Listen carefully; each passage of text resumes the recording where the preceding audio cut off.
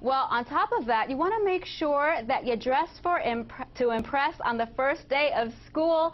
So whether you're a student or a mom dropping off the kids, I've got the perfect thing. It's the ultimate cuff. I'm wearing mine. And what it is is an affordable and very stylish line of jewelry cuffs for the Apple Watch as well as the Fitbit.